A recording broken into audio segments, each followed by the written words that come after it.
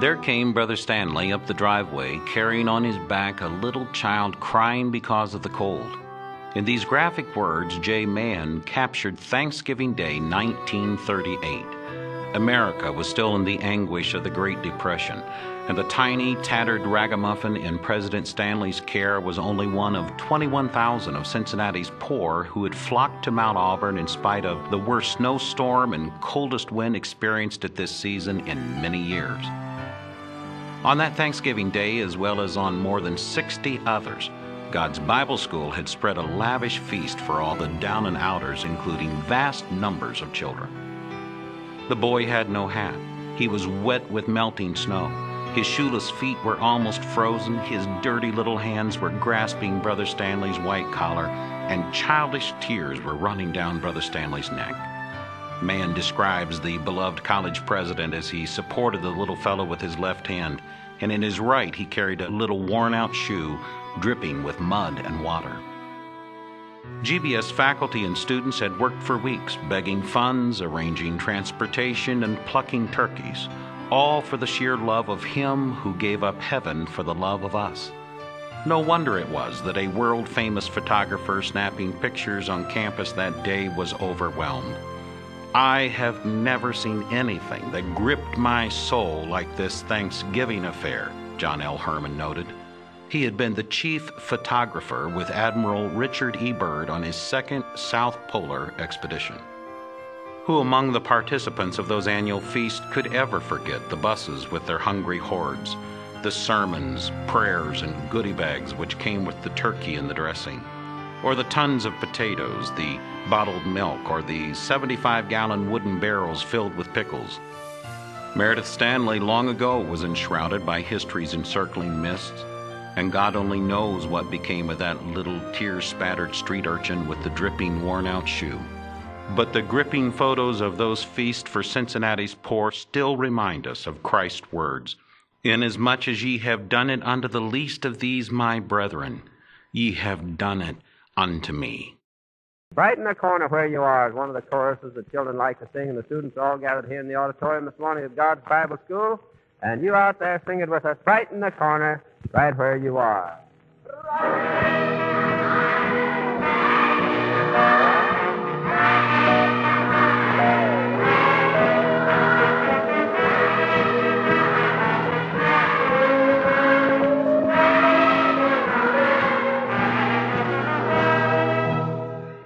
And another song that the kiddies always like to sing on Thanksgiving is Joy, Joy, Joy. And I have the joy, joy, joy.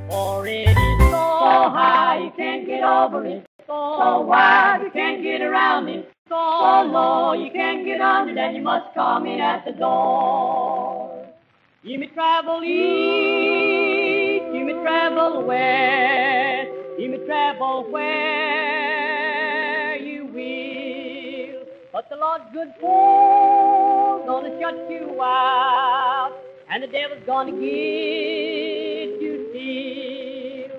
For it is so high you can't get over it, so wide you can't get around it, so low you can't get under, then you must come in at the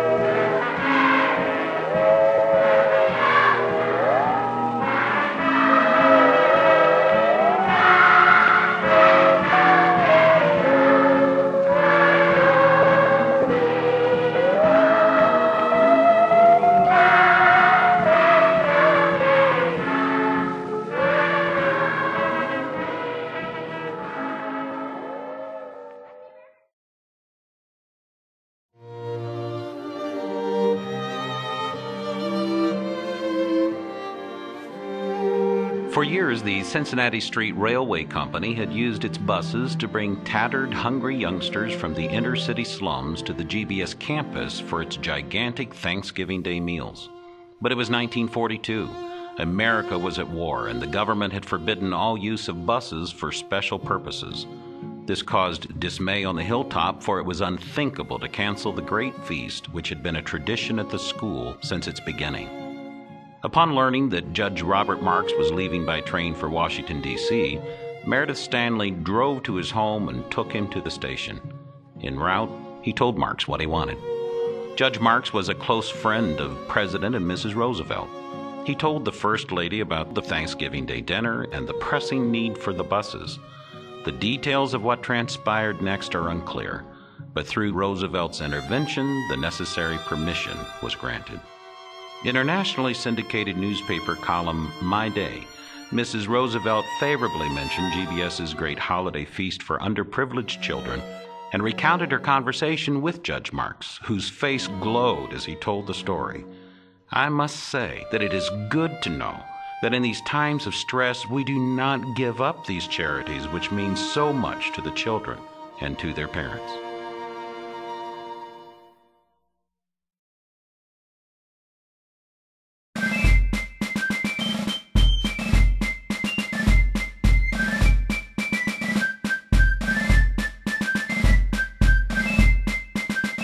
It was September 14, 1947, and Arthur C. Palmer spoke with mounting enthusiasm as he dedicated the new Jeeps and house trailers lined up behind the chapel. The GIs of the Cross had been established as a traveling school to train students in house and highway evangelism. Everybody at GBS was welcome to join, but those boys who had just come home from World War II received major focus. As eager to trounce the devil as they had the Axis, they were GIs still, God's issues for Jesus Christ. Their motto was Keep Them Rolling, and Jeeps and trailers became the most visible symbol of this revival on wheels. If you will give me a penny a day, I will evangelize every home in America through this special trained laity, Meredith Standley boldly claimed. He distributed thousands of mite banks and began the final and most ambitious, innovative evangelistic campaign of his GBS presidency. Initially, about 40 students were recruited and were divided into four units. Each group was bidden Godspeed, given $10, and instructed to go through the South conducting revival services and to rendezvous on a certain date at a prearranged place. After rolling into a town, students would spend two hours each morning in classes and then go calling from house to house in the afternoons. Evening evangelistic rallies were held either in public auditoriums, tents, or churches. This was to be the pattern for the next several years.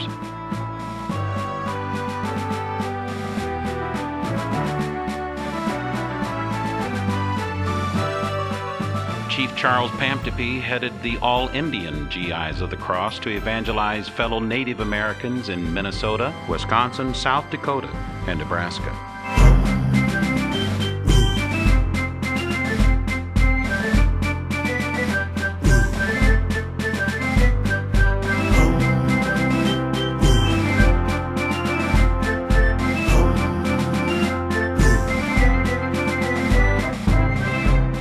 The GI's Jeep and trailer evangelism was not confined to the United States alone. Danilo Gonzalo, a Cuban student, was the interpreter for the campaign in his homeland. A similar venture took place in Jamaica, where services were conducted in 50 different places. In Haiti, the GI's presence was represented by alumna Helen Hammer. There was even a campaign in India under the supervision of Captain and Mrs. H.G. Platt. Jeeps and trailers probably will not be in heaven. However, there will be people there as a result of those Jeeps and trailers and the GIs who were faithful to keep them rolling.